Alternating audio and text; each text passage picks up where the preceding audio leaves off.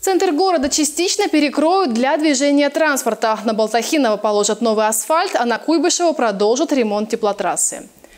Половину проезжей части по улице Болтахинова закроют уже завтра. Если едем с элеватора, то это участок дороги от Каландаришвили, где заканчивается Удинский пассаж, до улицы Куйбышева, там, где стоит светофор у Galaxy.